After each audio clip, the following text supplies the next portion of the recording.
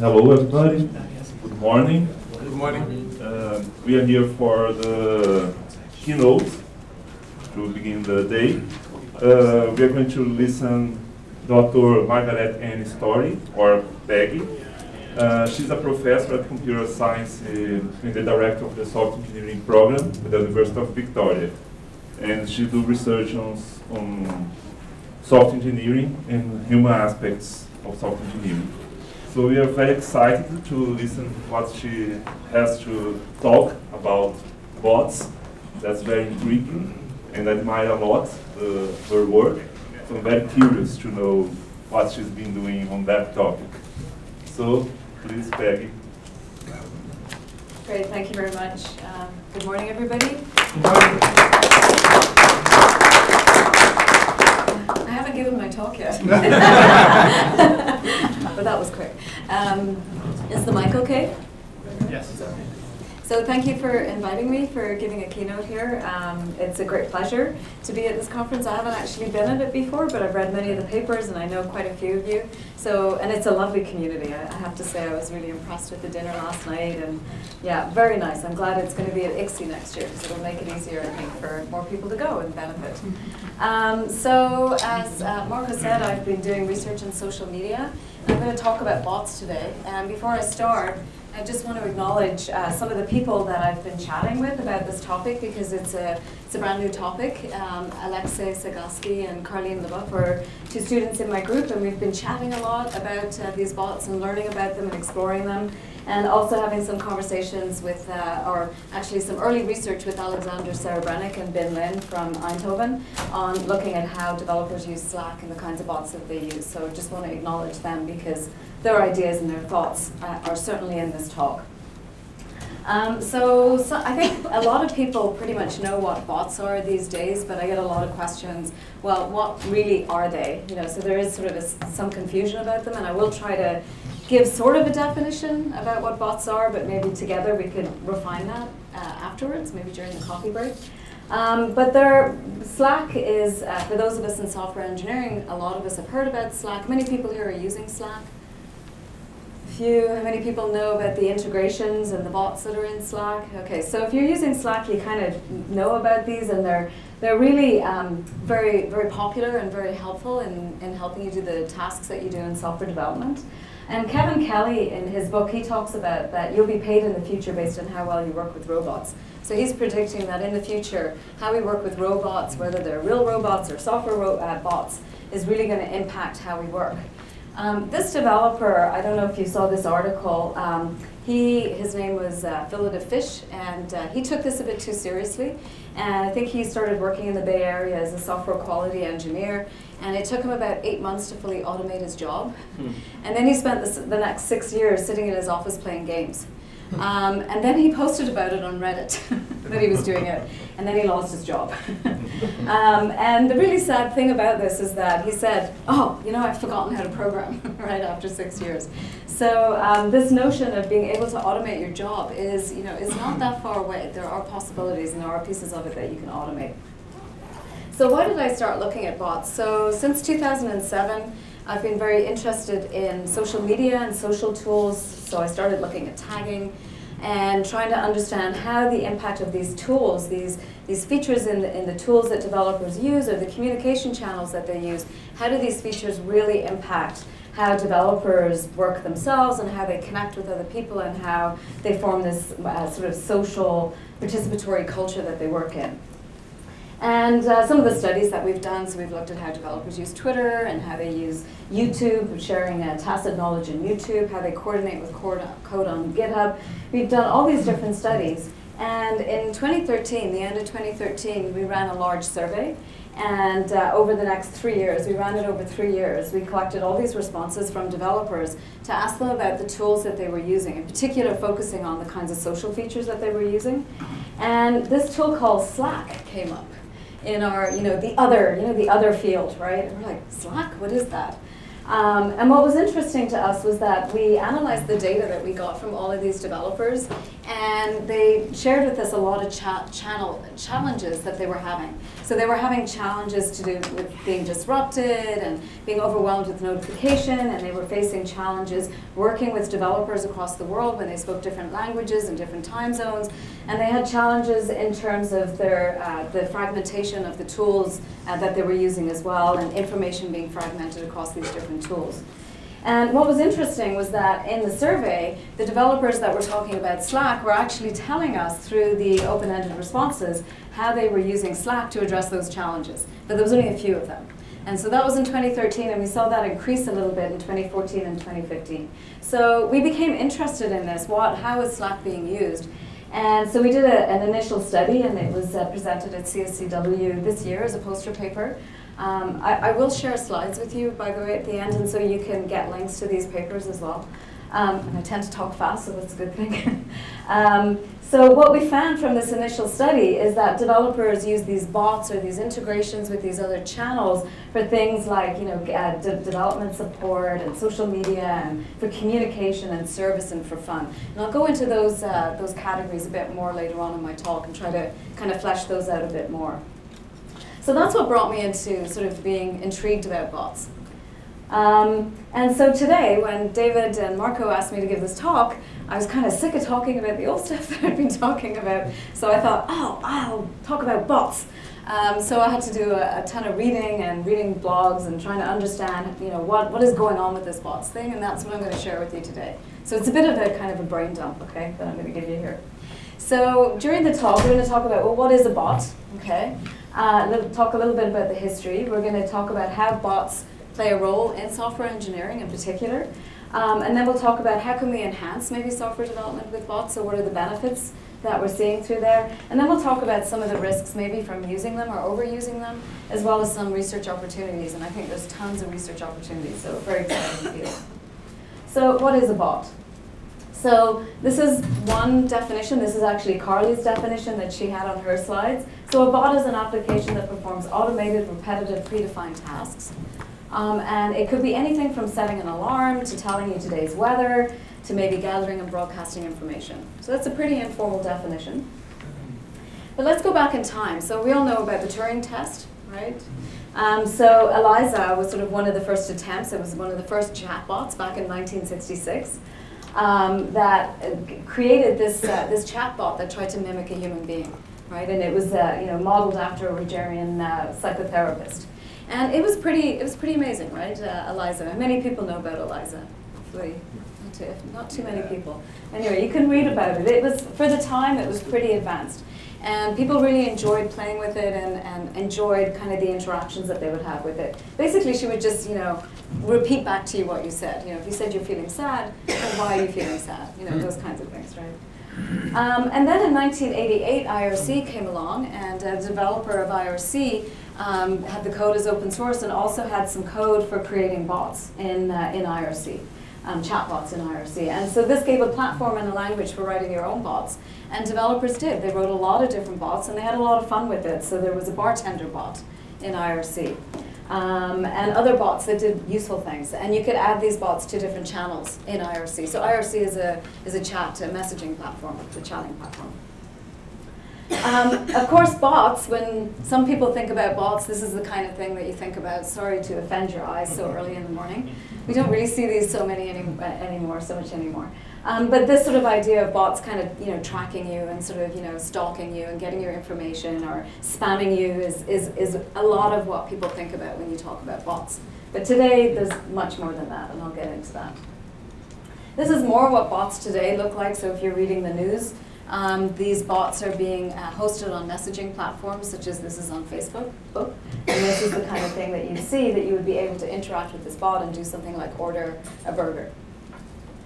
So in terms of bots and chatbots, uh, did, we did a, a search on Google Trends, and you can see that the term chatbot, so this is where we are here, this is like 2011, 2012, 2013, 2015 is here, there's this spike in this last year, in 2016, of discussion sort of in the, the, the blogosphere about chatbots. Bots are still sort of pretty even, but chatbots are just really taking off in the last uh, few weeks.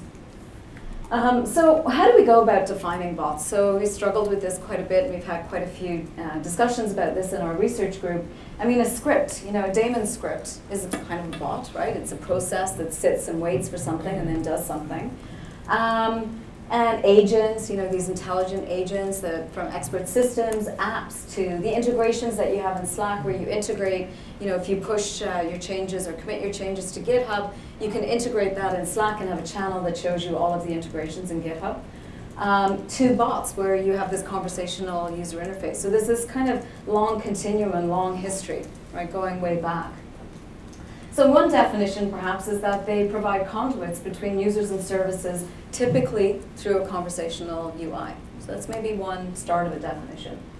But there are many different dimensions to bots. So we could look at what they do, how autonomous they are, how intelligent, how we interact with them, where they live, okay, where, where you're going to bump up against them and interact with them, and how they are actually created.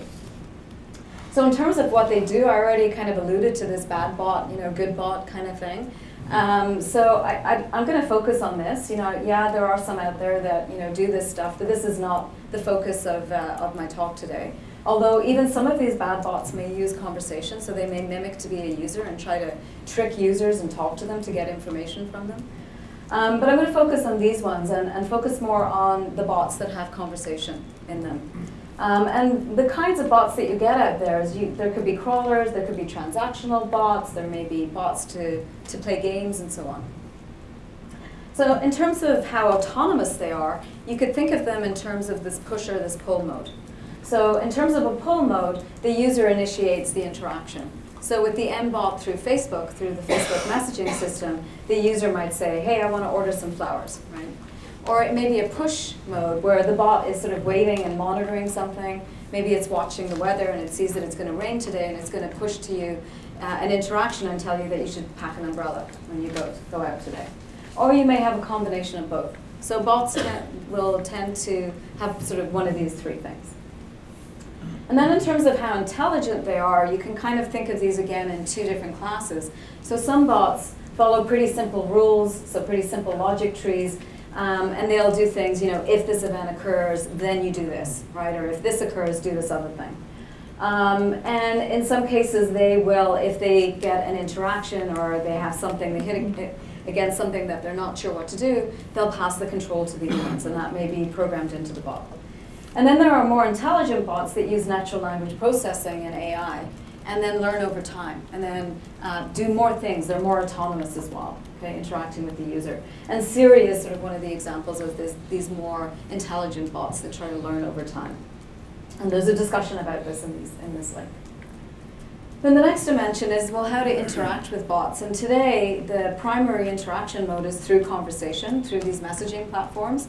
And there are subtle differences in the UI and how they do that, you know, if they use cards or how they use you know, different features in the user interface, such as swim lanes and so on.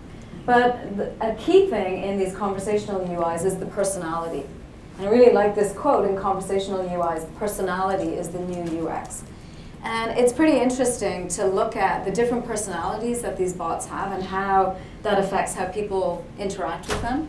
So Poncho is a weather app, or a weather bot, sorry, and um, uh, it's really fun and people like interacting with it because it's fun and it's humorous and it's kind of whimsical and it's just the weather right after all um, but there's also some interesting things that the way that people talk to these bots change based on the gender of the bot even when they know that it's just you know a program so if the bot is a female or if it's a male there's the way that users talk to it changes so that is kind of surprising to me but that's what happens. And of course, whether the kind of metaphor that's used, you know, whether it's a, a robot or whether it's a wizard or you know a genie in the lamp or HAL, that will again affect how people interact with it and the ways of interaction. So the next dimension is where bots dwell. So some bots may sort of dwell in the internet at large, or they may dwell in a particular platform. And of course, all the big companies probably you know, want you to be in their platform using their bot frameworks, right, or bots that, that reside in their platforms. Um, what's interesting is that Facebook um, just released their, um, their infrastructure for creating bots, and, and within three months they had 11,000 bots that developers created. Now, that doesn't mean that bot, the develop, or users were using them. Um, in fact, the uptake has been a bit slower than that, but it's still showing what's coming, right, in terms of the, uh, the trajectory on this. Here's an example from Microsoft, so Cortana. And I like this quote from uh, the, the Microsoft literature on this. So the operating system of the future isn't Windows, but conversation as a platform. So they're really pushing this as well. And uh, Andy May is smiling. he knows something I don't know, maybe. um, and then Facebook um, aims to replace your apps one bot at a time. So I mentioned that with the Facebook M um, uh, uh, messaging system that you can, instead of going to your app to order flowers for your mother's birthday, you can instead converse with the bot through your messaging tool and converse with this bot and it will order the flowers for you. Or it may even remind you and say, hey, it's your mother's birthday or you know your husband's birthday next week, would you like to order you know these flowers? Right? Um, and then of course Amazon and Google. So Amazon has you know Alexa and the speakers, and Deezer. Deezer hasn't bought yet, but they have the speakers in there, so that's coming. They're they're realizing this is a trend. And Google, instead of just searching, now you can also uh, do more than just search, but you can actually take an action, right? So you can search for what movies are in the neighborhood, and the bot in Google will interact with you and ask you, do you want to buy the tickets? And here they are. So, and then how they're created. So there's lots of different frameworks out there. Um, so Howdy, for example, launched uh, BotKit. Um, it's a framework or a library for building blocks for or building blocks for building Slack bots. It's a mouthful. Um, on Slack, and uh, they give you quite a nice tutorial on how to go through and do that. Uh, Microsoft Bot Connector, and all of these require this API and also this developer ecosystem, right? And it's this bottom-up kind of growth, right, that's occurring in terms of the bots that are being built and the features that are available. Um, last night I saw a tweet about this. Uh, this is just a, a, new book that's just out. It's $10 ebook. Um, I haven't read it yet. I just read the first couple of chapters. It looks interesting about how to build uh, Slack bots. Um, and so lots of uh, frameworks are coming uh, to build Slack uh, bots in Slack. HuBot uses uh, JavaScript, for example, so you can uh, build your bots there. So how do bots, so I've talked about sort of more general use of bots, but how do bots play a role in software engineering? So automation, of course, in software engineering these days is key, right? And scaling projects to thousands of developers, and this is something that you guys all care about, right, in this community. How do we do this, right? How do we scale this these uh, very large projects with very, very complex um, systems and interactions. How do we do that? And, and, automation is the way to do that. And in fact, bots are bringing um, a lot of that support for the automation to within software development uh, processes. And so um, we've been speculating on the different kinds of roles that bots may play in software development, just like you may wonder what kind of developer roles there are. And we talk about these in an in a upcoming paper that we'll present at FSE and the Visions track this year. And these categories were also inspired by a, a talk by Sven Peters. Sorry, there's an S missing there. And uh, he gives quite an interesting talk on the different classes of bots too. So if you're interested, you might want to look at his talk. So on the one hand, we have code bots, or maybe we should call these integration bots because a lot of these things do integrations. But they aim to make coding more efficient and more effective through integration of services and also through task automation. So you have bots that will commit your code automatically for you after it's, say, being reviewed or being tested. There are bots uh, such as BugBot, which will create bugs or even update bugs. Uh, once you've committed the code that fixes a particular issue, it will commit that code uh, or update that issue. Um, there are bots that will facilitate uh, peer review or even do some you know, simple peer review of the code. Um, uh, by facilitating peer review, they may go out and find reviewers who, who has reviewed this code before, who's uh, worked on this code or related code before. And there are bots that will help with automatically merging pull requests, um, such as uh, with continuous integration. And I mentioned HuBot already, so HuBot is being used a lot uh, to support different kinds of coding activities and it, it provides this uh, support for creating your own bots through writing some JavaScript. And uh, there's an interesting article on this that uh, the most important startup's hardest worker isn't a person, it's actually a bot, because they're doing most of the work.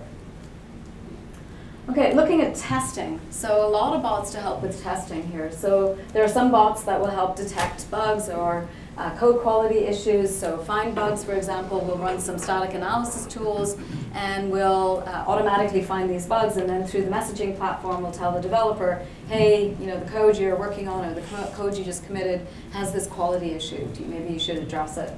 Um, or they may actually open issues uh, directly. So in the Atlassian system, Freud will notice that there's a code quality issue and they'll open an issue and they'll assign it to the developer that created that code quality uh, concern.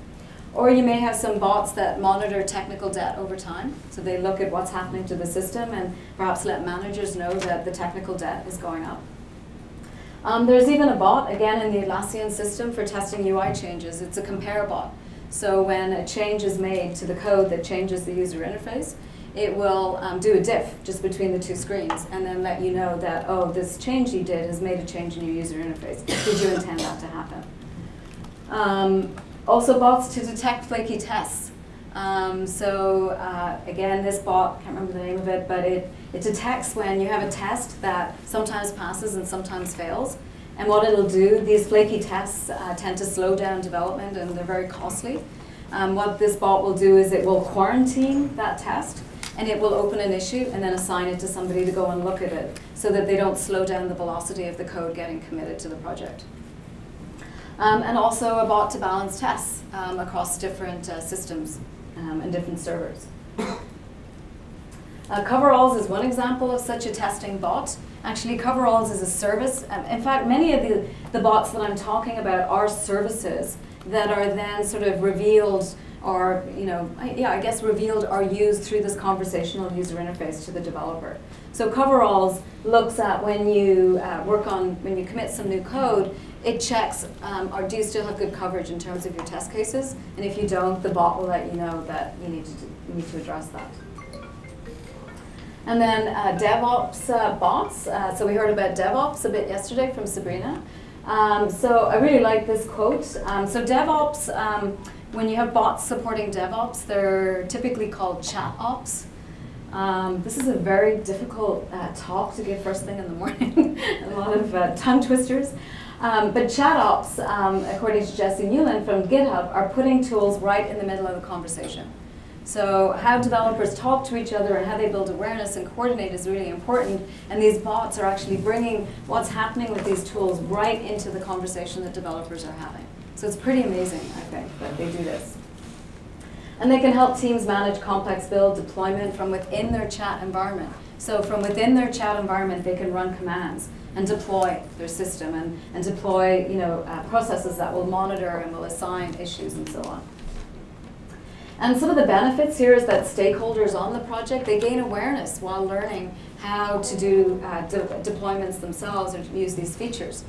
Um, so by watching what other developers are doing and watching what kind of commands they run as they're, as they're working with their system, they see, oh, that's the command that you use for doing this. And so they not only get to see that what, what everybody else is doing on the, on the team in terms of the project, um, but they also get to learn how to do it themselves. So I think this is pretty powerful. Um, they can monitor the running systems um, and services through DevOps. And so anytime something goes wrong, the way that they find out is they get a message um, through through their messaging platform. Actually, I did a, a, a, little bit of an aside, but we did an interview with a small startup company, very successful startup company in Victoria, and they use Slack for everything. Everything that they do, every interaction goes through bots through Slack. Even if you want to go visit them and you ring their doorbell, they get a message on Slack that you just rang their doorbell. If you want to order food, they use Slack. If you want people to test their code, they use Slack. If their users want to interact or send them messages, it comes through Slack. If their services go down, they learn about this through Slack. And when, I, when they were saying this, I said to them, what happens if Slack goes down? And the, literally they went pale.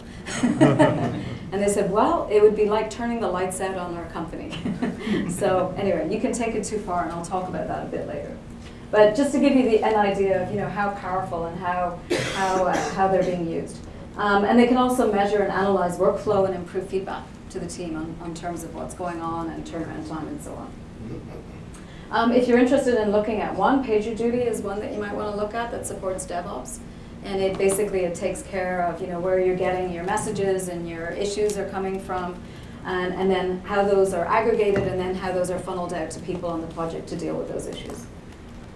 Um, and yeah, I like this quote. So chatting with your infrastructure might seem strange at first, but it's easy to see the benefits. A timeline of who's deploying what and deployments that are so easy anyone can trigger them. So that's just kind of reinforcing what I said already. Um, and then there are support bots. So I mentioned this company that we uh, did interviews with. They were using uh, Slack again, and actually lots of companies are doing this for um, dealing with support from their end users. And this is pretty amazing because you know dealing with uh, users when you have so many users of your product, you, you face a scalability issue, right? So so many and many of the users will ask the same question over and over again. So many companies are looking at using bots. Actually, you guys have probably interacted with bots, right? On systems like you know maybe your telephone system um, and so on. That you you see this you know this automated person, you know this automated bot will answer some of your questions, and very very quickly it puts you to a human being, but um, but you'll see that. And uh, these kind of support bots will answer frequently asked questions. And furthermore, they'll even do more than that. They'll consult um, the knowledge base to give answers, but then as they get new questions, and maybe as the human steps in and perhaps gives a resource to how to answer that question, the bot will then be watching that and will update the knowledge base so the next time they get that question, they can deal with it. And what's really cool about this is that these bots can be analyzing the user feedback as it comes in and helping to identify what are the biggest issues that users are really upset about, perhaps using sentiment analysis, and then triage or triage the most important bugs to fix, and perhaps even directly go and open issues. Maybe you have a bot talking to a bot, bot-to-bot interaction happening there. Um, this is an example of a support bot, again from the Atlassian system. So this is Hercules. And Hercules, you know, when customers add their logs to a support ticket, Hercules scans them against the database of regular expressions looking for matches to previously known issues. So it's pretty powerful what it can do. Then there are documentation bots. Um, so bots that produce documentation from developer artifacts. So for example, when you commit your code, you add a message to it. So um, there's a bot that will actually author, automatically author release notes from the commit messages that developers have added to their commit, commit uh, commits that they've done. And I guess a, ben a, side benefit of that is that these commit messages then may be better if developers know that those commit messages are going to actually appear in the release notes. Um, and there are bots coming that integrate analytics and visualizations into reports and dashboards. Actually, I think I made that up. That could come. That, that could be happening. so some of the things that I'm actually talking about today, there are sort of examples, and I'm sort of also pushing the boundaries a little bit and saying, but they could do this. So that's one of those. Um, there are bots, though, that do translation on the fly, and start, we're starting to see those services being used in software development as well.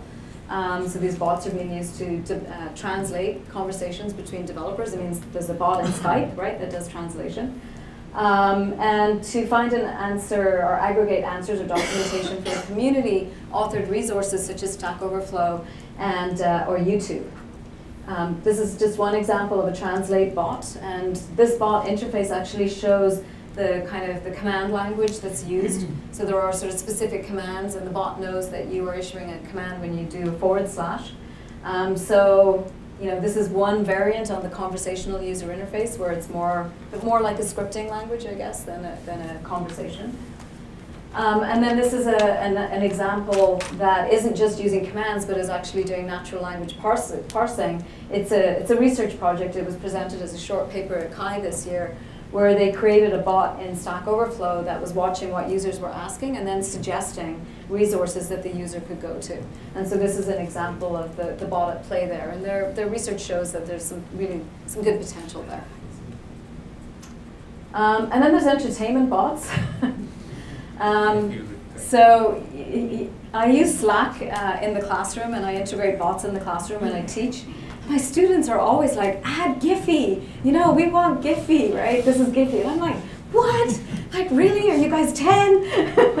and, but they love Giphy, you know, and they love these fun things. And, and developers love these fun things, you know. It, it, it makes their day better, right? It's more enjoyable. And, uh, and they use bots for things like ordering lunch. You know, they'll have a bot that orders lunch for them and so on. So Um, I mean, you could just discard it and say that this isn't important, but I think in terms of well-being of developers and teams, that these kinds of things are pretty important. Um, so these were the, uh, the bot roles that I talked about in software development. And of course, I haven't sort of pulled it out, but collaboration is something that cross-cuts all of these, right? It's kind of this underlying theme to all of these uh, different kind of roles. And um, so chat ops, here's another quote that I like. So chat ops, so that's the, the bots for DevOps, um, is a collaboration model that connects people, tools, processes, and automation into a transparent workflow. So you can actually see what's happening between the people working together and how they're using the tools and the workflow between them. Um, and these are three things, of course, you know, the 3C model, awareness, coordination, and communication all of these bots, you can see how they bring perhaps elements of awareness and also support coordination. I'll go into this in a little bit more detail in a bit. And I also like this uh, quote, the team with the most situational awareness wins. So again, this sort of transparent workflow that you get through these platforms brings that awareness, right, that situational awareness to the team. So people can see when they're on the platform that there's, you know, some services down or some particular uh, user issue is coming in you know, very fast and users are complaining about it. Um, and Slack, of course, through all of its different integrations with all of its different tools, is what makes this awareness possible, right? You have all these, uh, these different ways of integrating with all these tools that then allow users to see, oh, somebody just added a new file to Dropbox that maybe I should read, or there's been more commits on GitHub, or there's this fail, you know, in the continuous or in the build process. Um, and Howdy, I mentioned Howdy already. Um, so Howdy um, um, is, uh, is providing a platform, right, for Slack for creating uh, bots. And in terms of team, you know, it provides support for stand-ups and for automated meetings. And here's the lunch orders I mentioned. And uh, training your bot also to ask custom questions. And I like this quote. Howdy has helped me keep tabs on my team of 45 spread across three locations. With Howdy, we save hours per week and we get right to the most urgent needs of the group. I've learned something every time I've done a check-in. So that's kind of the, the, the, emphasis from this group across three locations, that it's bringing benefit to them. Um, and the, the real potential of bots doesn't really come, of course, from just one user using them. So it really comes from multiple people using the bots, right? And from people seeing how everybody else is using them. So the more kind of buy-in you get from people in the team, the more benefit that they get from doing that. Um, and this quote talks about this, and it, it, just sort of talks about the evolution of how humans interact with technology. It's cognitively ergonomic, this kind of messaging platform. So what about looking at enhancing uh, software development with bots and, and in particular, I mean, global software development, uh, of course, is you know, key here as well. Um, so one issue is, well, how do you go about designing these bots? And there are actually uh, quite a good uh, amount of uh, principles and, and uh, documents and blog posts that are out there that just that will give you advice on how to do a good job on building these bots. Um, and what's interesting is that people tend to, when they're, when they're dealing with a responsive computer program, they tend to um, uh, assume that it has more intelligence than it really has, right? And they enjoy talking to it, right? Um, so you'll see the way that people use bots is that you know they need to they'll feel that they need to say thank you right when the bot does something for them. Um, we use bots in my own research group, and um, my student Alexey uh, wrote a bot that just asks us at the end of the week, what did you achieve this week? What went well at the end of this, you know, what did you, what went well this week? And I find my, and I asked him once, I said, you know, do you do anything with the answers that we put in there? And he goes, no, no, don't do anything. And I still write a response to it. I'm like, why do I do that? You know, so there's something there, right? The way that we interact with it is pretty interesting. Um, but in terms of designing them, the metaphor, I already talked about, that really matters.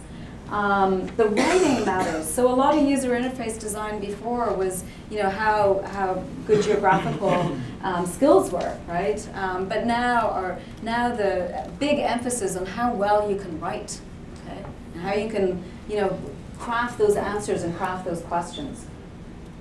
Um, an interesting thing came up in my research group when we were talking about this is, you know, are some of these things, you know, just the command line, right? Especially when you're just, you're putting in the command anyway, what's the big difference, right?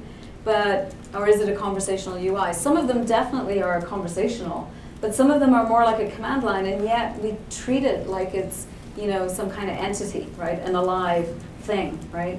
Uh, because it's in the messaging platform. Um, and as I said, there's lots of principles, and I just put a few here to give you an example. So build in a kill switch uh, is one. Avoid rhetorical questions. Users don't like that. Um, and watch for notification overload. So just some of the things to watch for. But there's many blog posts out there on how to go about doing this. And then as a researcher, I'm kind of curious, well, what are these bots really doing, right? You know, sort of at a more kind of abstract or theoretical level, what, what benefits are they bringing? You know, how, how could we evaluate how a team is using these bots or how could we recommend, you know, say if somebody comes to me and says, well, which bots should we use in my organization? It looks like this and we have this many developers. How would we go about, you know, recommending to them which of these bots they should use and which ones they shouldn't?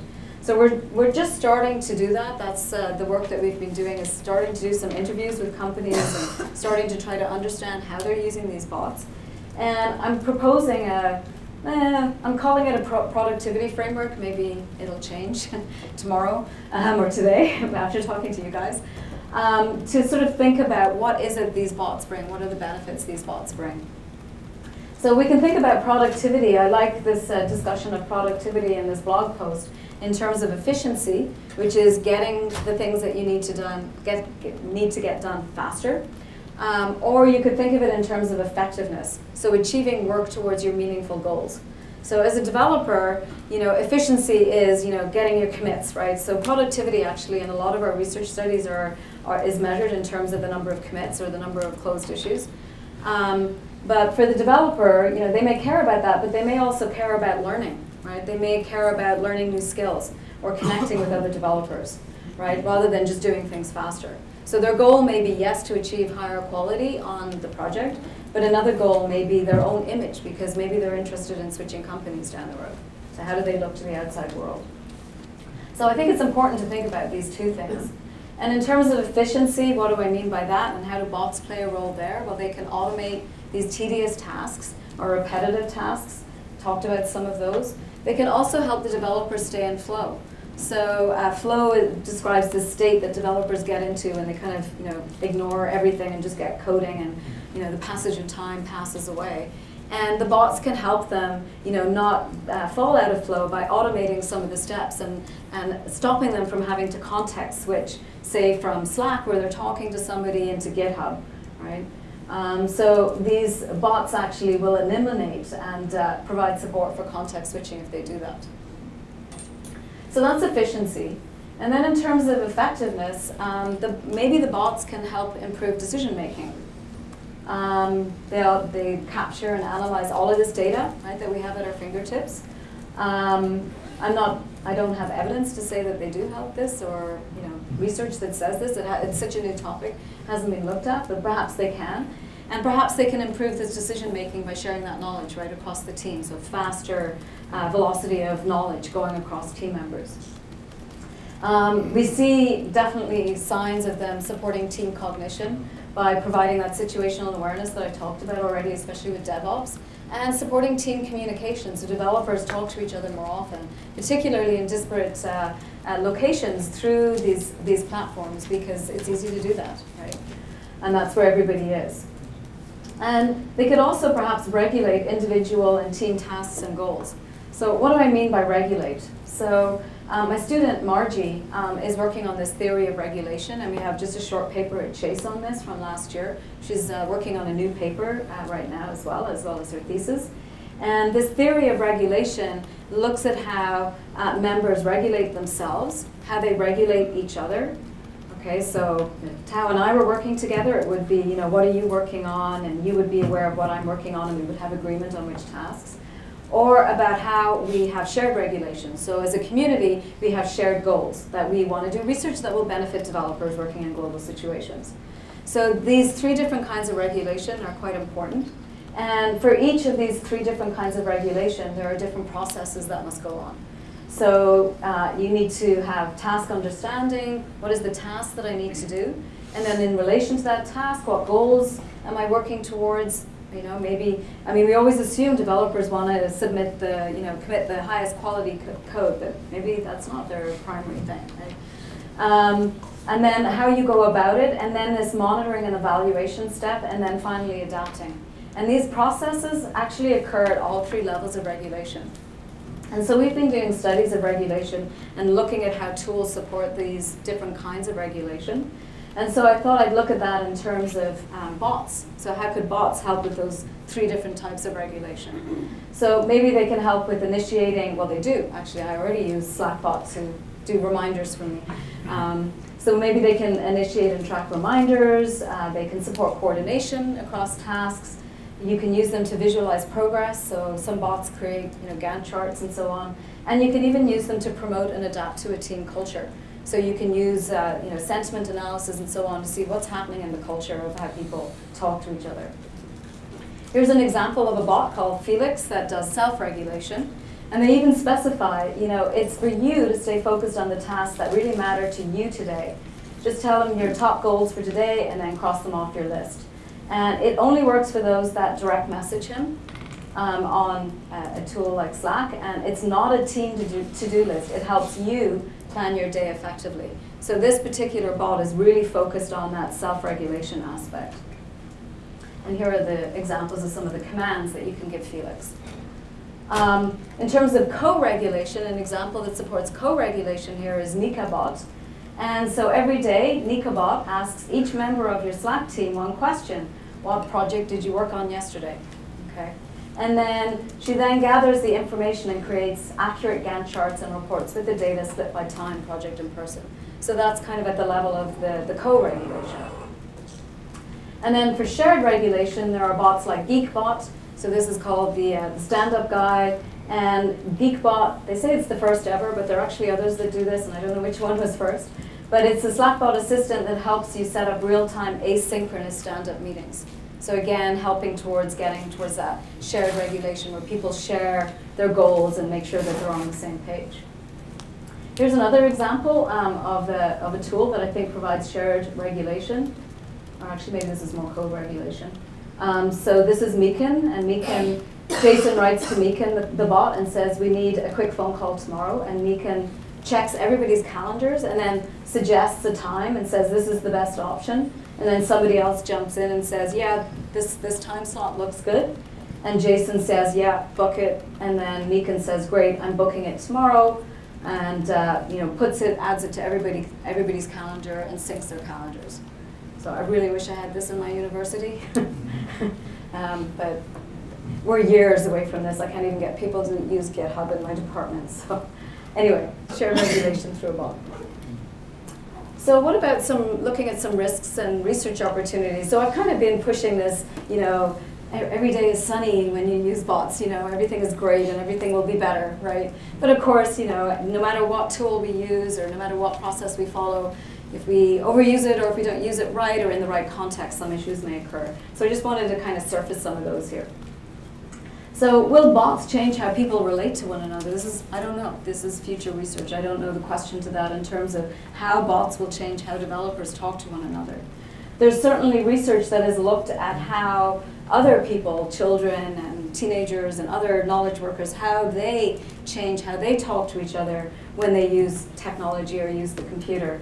And um, you know, Sherry Turkle says that children are learning that it's safer to talk to a computer than to another human. Um, and uh, there's you know cases in uh, what's the name of it? Emotion AI or something. There's a bot that uh, teenagers um, in Asia use when they're lonely, and they chat to this bot, right? Because it's better to talk to a robot than to nobody else, right? So if you're lonely, it's better. I guess that's why I talk to HuBot on a Friday afternoon. My students have gone home by then. Um, so yeah, you know, it's better to talk to a robot than somebody else, but if that's overused, what will happen? Will I not talk to my students as much if I'm, you know, using Slack? And then what ethical framework should we use for bots? Um, so, you know, is deception okay? So there was a, a case at Georgia Tech where uh, a professor was teaching a MOOC, and maybe some of you heard about this, and there was uh, one of the teaching assistants was a bot, and uh, the students, I think she was called Alice, and the students didn't know. And uh, Alice was answering, you know, all those stupid questions that students ask you over and over and over again, right? You know, where's the assignment? What's the due date, right? Um, and uh, she actually got really good ratings from the students. um, and the students didn't know, right? So is that okay? You know, if we are using bots with our users, is it okay if they don't know it's a real bot or not? Um, and then what about the privacy of information that's more likely to be shared by users with bots? So lots of studies have shown that users, if you have sort of this you know, computer program that has personality and is you know, cute and friendly, that you're more likely to share sort of personal information uh, with it. Um, and so this, this is going to happen, right? And so what about that privacy of that information? And what about misuse of sentiment analysis? So we can see get a lot of ben uh, benefits and insights from sentiment analysis. And so, I mean, should a manager know that, you know, develop, developer, one developer is kind of pissed off today, you know? Should they know that? Or, you know, but maybe it's good if they know the morale of the group overall. Maybe that's okay. So sort of thinking about those questions. Is it okay to kind of have bots that stalk you and kind of watch what you're doing, right? I don't know. Lots of questions here, and I think we need to think about this one. Um, and then be careful what you wish for. Sometimes the bots uh, work better than you might anticipate. So this is just a bit of humor. um, so Tay is, uh, sorry Andy, it's a Microsoft bot that kind of went wrong. uh, it was a Twitter bot and she was designed to learn from uh, other users. Actually, she was designed to learn from millennials, you know, younger people, and to learn how they converse and then to sort of mimic how they converse and, you know, sort of improve, right, as she learned from other people. Unfortunately, she learned a bit too well, and this was actually one of the most tasteful examples I could find from the web.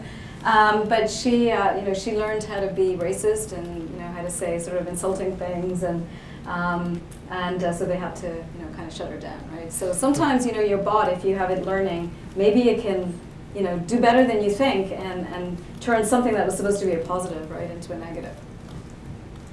Um, and when not to bot, um, so title of my talk, finally get there. Um, information and interactions, of course, with when you're using the bot are not discoverable, right? So they're hidden behind these commands. You have to go and look at the commands or you have to learn how to speak to it. I mean, even, okay, some of the conversational US are really good, but as we all know from using Siri, um, you know, it's, it doesn't always work, right, the way that you think. When we got um, Apple TV, my husband and I, and, you know, I was saying, oh, Siri's so great. And he's like, you know, mousing through all these menus, and, you know, I go into the room, and he's like, oh, I can't turn it off. How do I turn it off? And I pulled up Siri and I said, Siri, turn, turn Apple TV off. I'm sorry, I can't do that.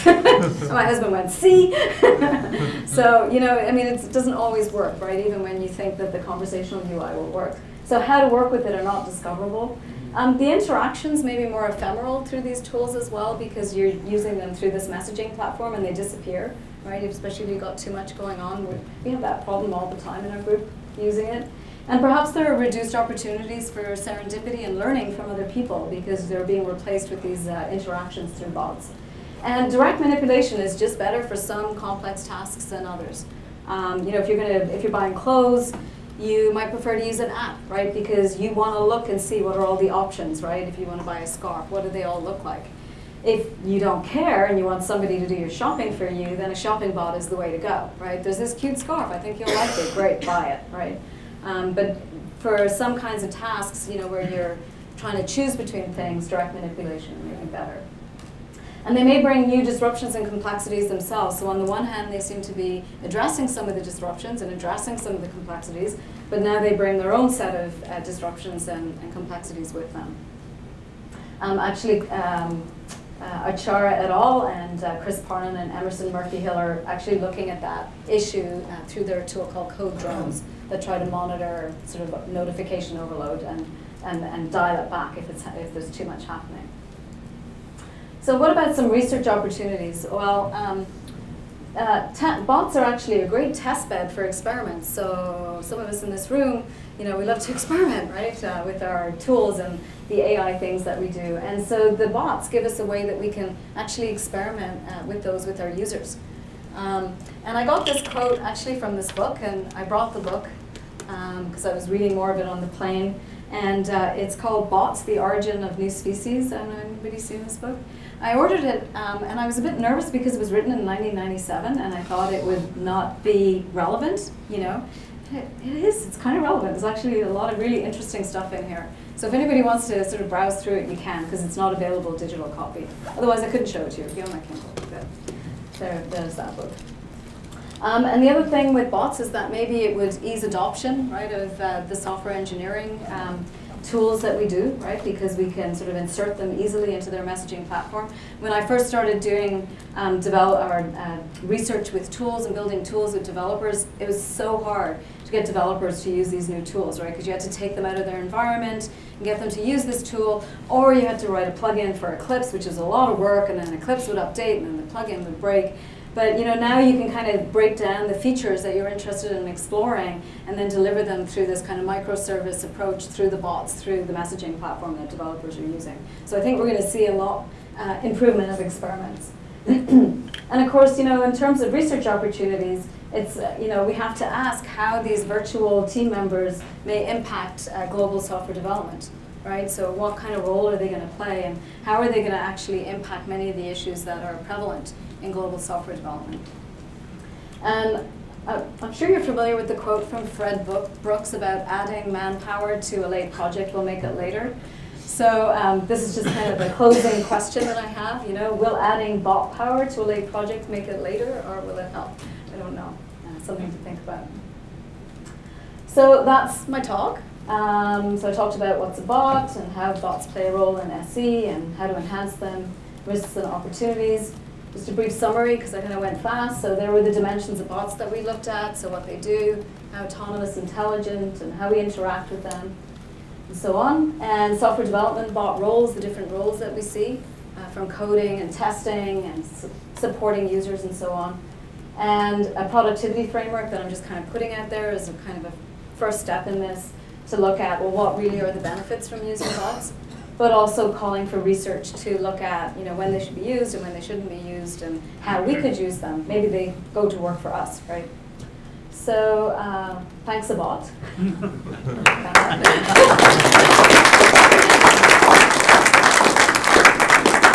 Happy to take questions. Thank you, Peggy. Questions? Do we pronounce ourselves? No, because you can't hear me. Um, I, the skeptic in me looks at this and says, you know, this is just Mhm. commit hooks and scripting with a, with a Yep. new name. Yep. Except, I remember about a decade ago, I let some, a uh, couple of my friends' kids use Eliza. And they were really, really trying to get Eliza to tell them why their dad wouldn't let them get a dog. And then, and, and your comment about how you interact with a bot that's completely useless, Yeah, but for some reason there's there's something there's a satisfaction. So I, I was wondering if you could speculate that maybe that whether the um, popularity suddenly of all of these bots is because they tap into some kind of um, Yeah, yeah. emotional response. that That, that's the control. theory, but yeah, absolutely, that's, I've read some, some, I mean, there's, it's, conversational user interfaces have been around a really long time, and I mean, these these chatbots, right, have been around a really long time as well. But it's just suddenly kind of, you know, come on the scene again because now we have access to all this big data, and we have uh, better AI, and we have better natural language processing, right, tools that are out there. And uh, a lot of the discussion about that is that it is tapping into something innately human. And if we think about how we've interacted with computers over time, you know, we started with punch cards, right? And then, then the, the terminal window, and then, you know, we would, you know, type in the command line, and then we had the, the graphical user interface. And now they're saying the conversational UI is kind of the next step in that evolution because it's closer to how we interact with other people, right? It's closer to the way that we, you know, converse and, and think about doing things. So that's kind of that's the theory. And so it's interesting to think about how that's if that's going to play out and it actually seems to be I mean it has limitations, but it seems to be working in some places. Um, how that plays out in software development. And software developers are using these bots. So I'm not making, I mean, I kind of stretched a little here and there, but, uh, but I'm not, I mean, there are plenty of examples out there. Thanks for the question. Hi, um, I have a question Okay. over here. Yeah.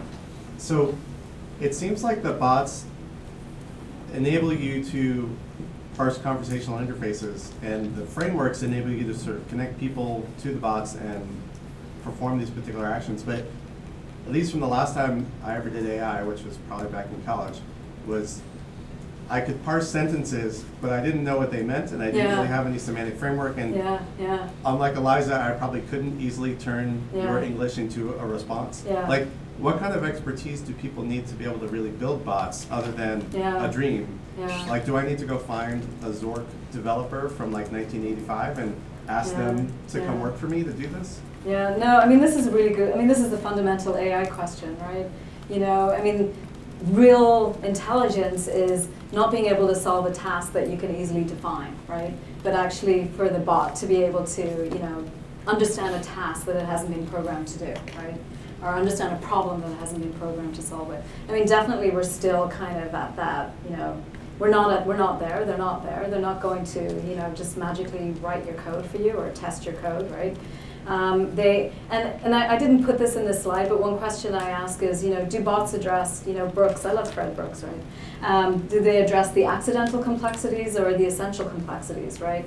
And I think a lot of what they address are the accidental complexities, but in terms of scale, they do address a lot of the scale issues, right? So in terms of you know dealing with users and awareness about what's going on in the team, and you know even you know translating you know between a developer in India and a developer in Germany, right? That's pretty powerful, right? Um, is that a bot though, or is it just translation, right? So the the bot is the interface to, to these services, and I think these services are kind of where you ask how's how good is the AI, and then the bot is just kind of how they bring that to the user and how that plays in the messaging platform. So, yeah. I'm not answering your question because I don't know the answer. yeah. Thank you, a very interesting talk.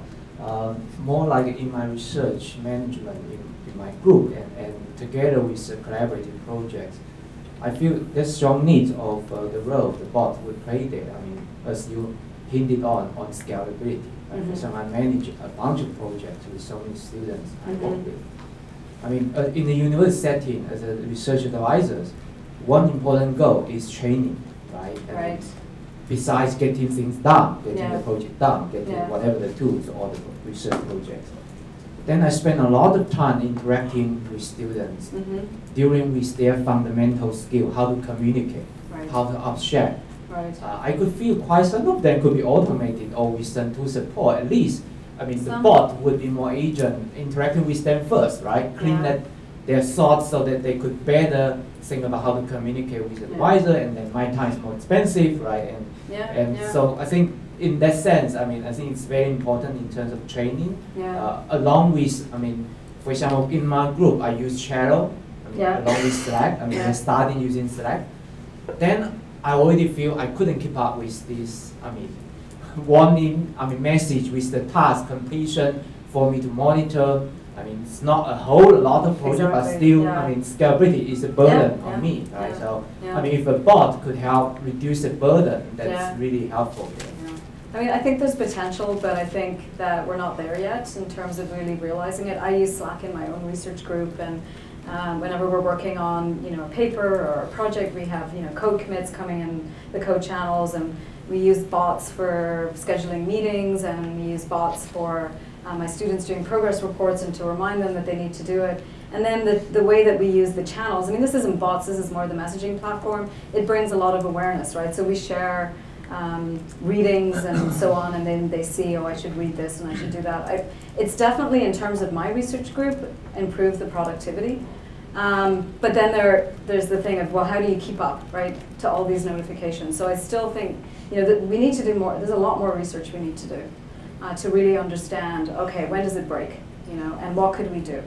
How could we add a bit more intelligence in there? We won't get where Andy wants to go, but you know, we could make them a little smarter, right?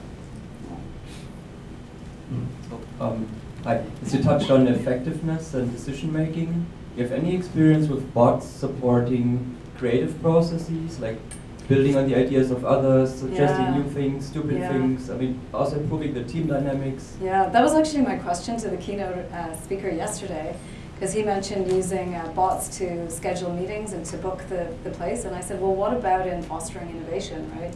Um, I don't know of anything that talks about that per se, but I think actually the Hannah Cafe, if you could, you could maybe make that be an environment where you could experiment with that, how they could enhance creativity. I mean, creativity is a really hard thing to nail down anyway and to measure, right? Um, but Uh, definitely, the way that I've seen, certainly the messaging platforms being used, it, it enhances it. What I could imagine is like using machine learning algorithms Yeah. to mutate. I, I mean, not coming up Yes, with own ideas, yeah, but just yeah, to yeah, yeah. twist them, mutate Yeah, them, yeah. or new ideas. Yeah, or bring in things that are similar to what you're asking about from another field, right? So sort of going out there and searching, because that's what we do, right? When we want to be creative, we go and we search in other disciplines, and then we bring in those those uh, those resources. Great talk, Peggy. Thanks a lot. Um, I see a number of, of uh, application domains also for for uh, yeah the day-to-day academic life. And what I wonder is, I mean, when I, for instance, want to compile a bot support system that supports me in my teaching, then I don't want to sit four, five, six weekends in a row scripting stuff together. So, um, do you have experience, or do you have any overview research uh, surveys or whatever on bot development environments? Something Well, like domain-specific languages or something like yeah, that. there's li- if you Google, you'll find lots of different platforms. I mean, I, the the Slack. Um, what was the book? The Slack book that I mentioned. That's one framework you could use. Um, I, I don't I can't I don't know for sure which is the best one to use. Um, I know that when I used HuBot in my class, I spent two days trying to get it to work. That was like over a year ago. Now I think it's easier. So there's there's always this hurdle, right, when you try to use new stuff that it doesn't just work the way you think it should, right? So, but we're getting there, I think, right? We're getting more and more frameworks, and you know that would be a really cool research topic, though, to look at how bots could play a role in teaching, right? Because we we, we spend so much time doing the same things, right, over and over again. Good, good suggestion. So just one more question. When I think about bots, I'm also a little bit skeptical because I kind of think, well, sure, I've seen this idea before. Yeah. But in 1997 and earlier. I'm breaking um, the place, sorry. But in the place where bots are kind of taking off is Siri and Cortana, Yep. where it's a conversational bot, but it's out loud. Yep. Do you think that these kind of bots could be done out loud, or do developers not want to talk? Like, and this also goes to what Tao was saying about teaching the students how to talk Yeah. and how to ask questions and how to get their ideas out. Yeah. That's all verbal things. Those are all things yeah, that are done outside, not just typing into a computer. Yeah, yeah. I think they would, yeah, I think so. Why not? Typing's faster. Typing works with people who are, you know, asynchronously working or who are not co-located, right? So they'll type. Um, but you know, Slack, Slack, for example, has integrations with Google Hangouts and Skype, and a lot of people do that. They'll just say, "Hey, let's open a Hangout," and and it's be- because it's so easy. I mean, that's not a bot; that's just an integration, right? But because it's so easy, people do it. You know, and, and it's lowered the barrier to actually having that verbal conversation with each other. Um, but in terms of talking to the bots, I, I don't see why not. My friends that are not in technical fields talk to Siri all the time. It blows me away. Except my husband. he doesn't do it. So, um, so where do you think the limits are going to be with this sort of anthropomorphic? Oh, sorry. Um, you know, we, we've seen Clippy yes. be a massive failure. and- Yes, and Bob. Yeah, so there's some things Yeah. to learn from that about Yeah. how much do we actually want to talk to computers who Yes. pretending they're humans are not. Yeah, yeah. So um, actually, the, he talks about, uh, I think, or maybe it's somewhere in something that I read. I read it, something about Bob and Clippy. And I mean, the reason Bob failed was because it treated people like they were stupid. Um, and Clippy kind of had the same effect with people. It didn't quite get it right. Um, but I also read, and I can't remember where I read this, but Clippy had different, um, uh, different avatars, I guess. So you could make uh, Clippy be a cat that would purr, you know, when it was happy and stuff like that. And people reacted very differently to the cat that was basically the same agent, right, as Clippy. Um, so very subtle differences lead to the success or failure. And I didn't talk about this a lot, but you know, just like people or animals, the the habitat, right, the environment where they are really matters, right? Um, so if you're in something, you know, that is more playful and kind of hipster, you know, it might be okay to have a bot that kind of talks that way. But if you're, you know, in something that's more formal, it wouldn't be okay. Right? So very very subtle differences will play a role there. Um, but you know, it's some of them are working, and they're you know, like my students were saying how much they love Poncho, the weather bot. So they check the weather more often than they used to now because of Poncho. Check him, check her, him or her. I don't know which. Uh, I also want to thank you for a fascinating talk, and I hope this round of questions isn't just wearing you down after. the- No, it's okay. I just hope I remember them all because they're really good questions. I Uh, should have But asked again, I- to I- write them for I- it's- it's been a very nice talk, so, and and your question answering is uh, uh, very inspiring, so thank you for that. Thank you. Um, On, uh, one thing that, so a couple things caught my uh, eye or ear in uh, the uh, thing.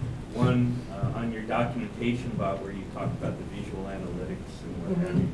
Uh, So we're doing that, and I never thought it was a bot. Cool. Okay.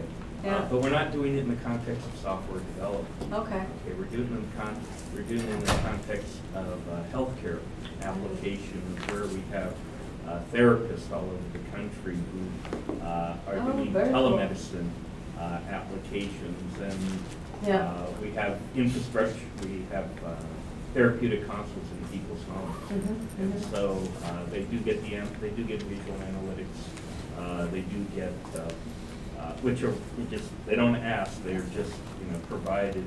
Um, And then they make decisions about, you know, uh, changing the uh, care protocols. Hmm. Uh, So, um, Is it, is it through a conversational UI? uh, It's not, we didn't try to make it conversational in the sense of uh, have the therapist talk to the system. So if you will, it's a bit more One way. conversation, well, it's canned. it's Yeah, canned yeah, yeah, yeah. Um, And that's a point that I was kind of um, leading up to. Uh, Just a sidebar on the creative bots. Okay, Mhm. so uh, the visual artist Harold Cohen, who recently passed, uh, built a conversational art making system called Aaron.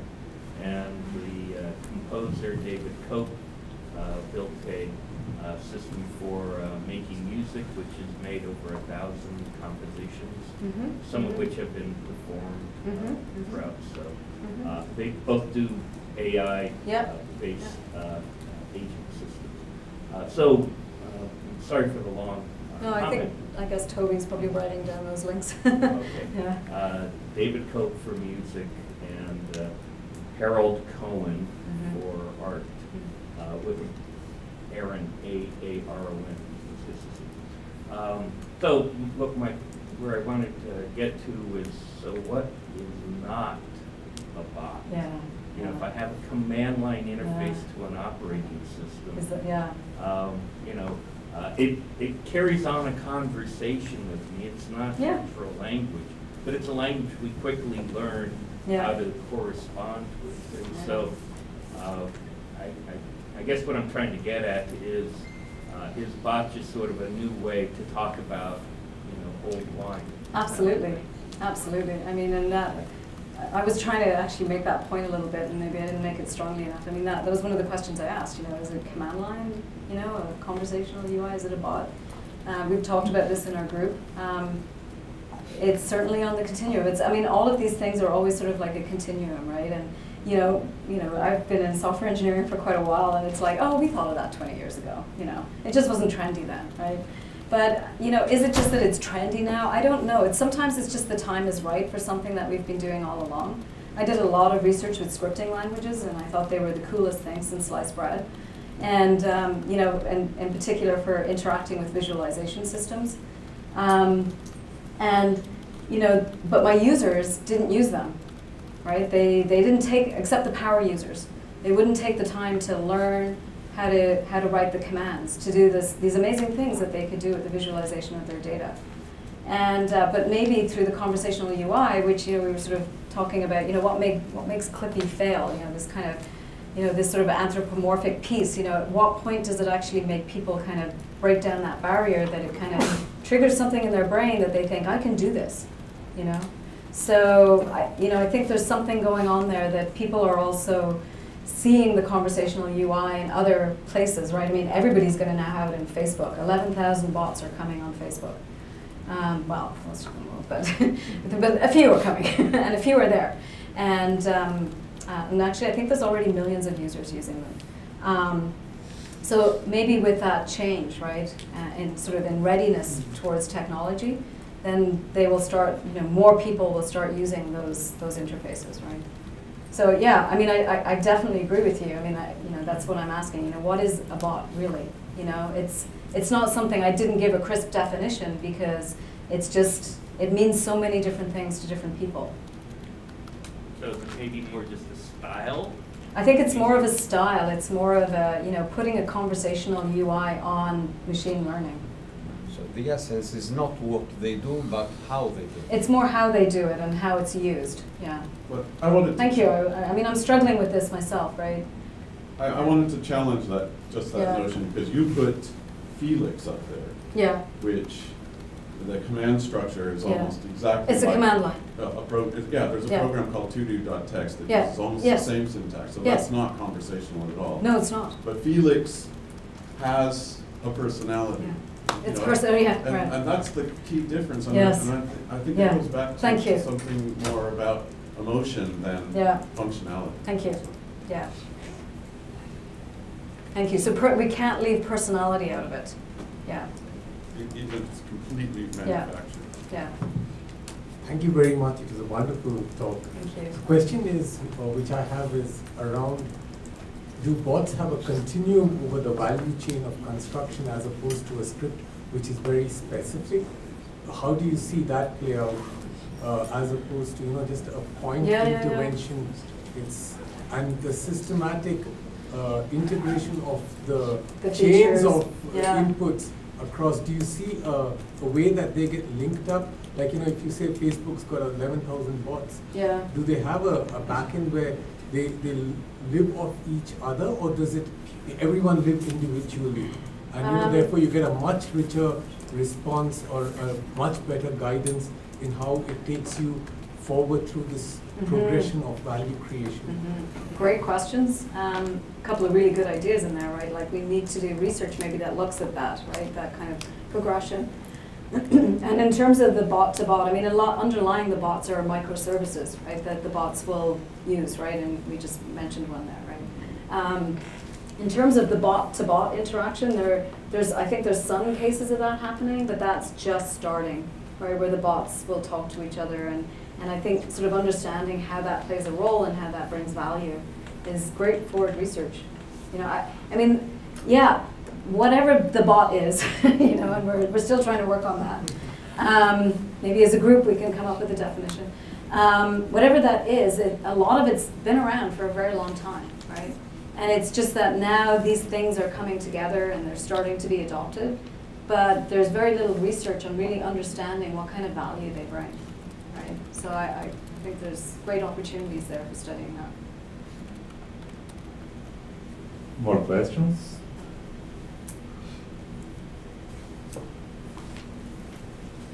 It was a, uh, it was a uh, great pres- uh, presentation. Thank you. And I, I was thinking uh, these bots are uh, software uh, that uh, work on another piece of software. Especially, say for example, you are scheduling a meeting uh, by using a bot. Yeah. So uh, we're already struggling with anomalies of a software, Mhm. and these bots work with uh, another software. If these bots have anomalies like bugs, so you are working with buggy software with another buggy software, and how this effect will get multiplied. Yeah. And uh, especially if they work in a, regulated environment Yeah. like healthcare, and that can become a, a serious issue uh, of validation. Uh, and uh, that's one. And second question is. Uh, uh, uh, software is validated by human experience and uh, human uh, judgment Mhm. uh, often. Mhm. Uh, but how will they validate the uh, correct functioning of these bots? Mhm.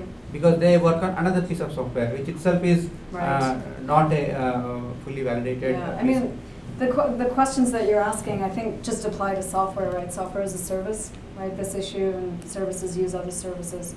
Um, but I think what you're what you're getting at is the fact that will users maybe maybe I'm maybe I have this wrong, is that because it has this kind of personality, will users somehow trust it more? And actually, they do. Um, and how to sort of address that and how to do testing. I think Tao is interested right in this topic um, of how to do the testing of this and to address these very issues. So there's a whole line of research on that.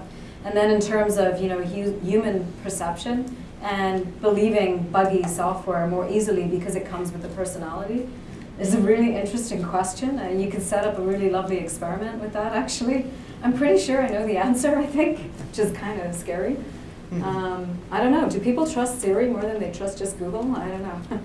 But she could do something. I, yeah. I'm sure there are probably some people doing research on that, and if they're not, they should be.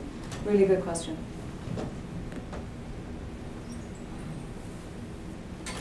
No, I think I have a question myself. Okay.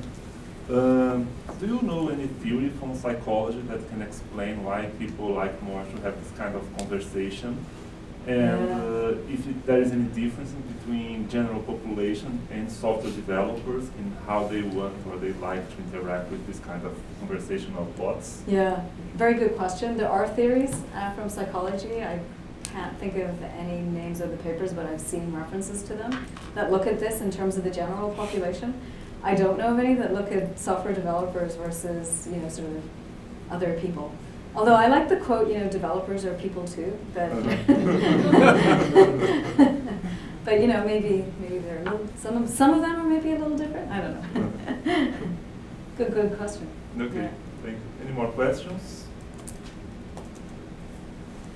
I think some developers might prefer typing Com- commands. I- I'm just sort of pondering about this, and I'm thinking maybe this fits in some sort of context of augmented cognition or something. Yeah. we're Yes. Yes. Yeah. Yeah. Definitely. This definitely fits in augmented cognition.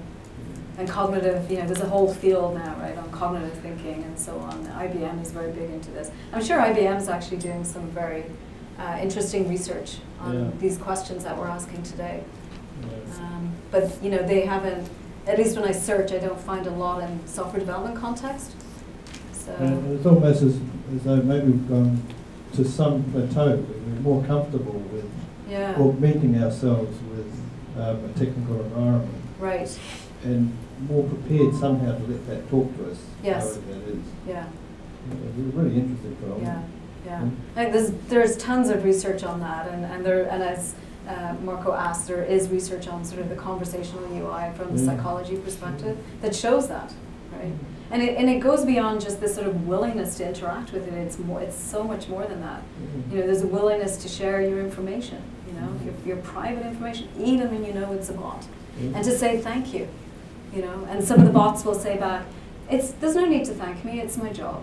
You know, but the person will still say thank you tomorrow when you get the weather forecast. You know. Very interesting So, talk. Thank yeah, you. Thank you. No, any more questions? So let's thank Peggy for the wonderful talk.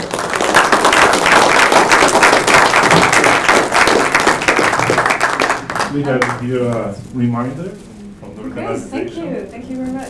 Thank you. Congratulations. Thanks. And thanks for the questions and the discussion. It was uh, really interesting. I have to go write it all down. Yeah. And Tobias also asked me to give you this. I think it's a kind of a summary of your talk. Wow, who did this? Oh, wow. Thank you very much. Beautiful. That is lovely. I'll, I'll frame it and put it on my wall, actually. Thank you. Thank you so much. And we have two announcements. Uh, first, if you are not going to Google tomorrow, please let, let our front desk know.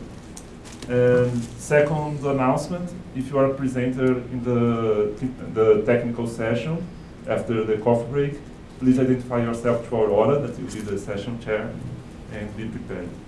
And thank you again, Peggy.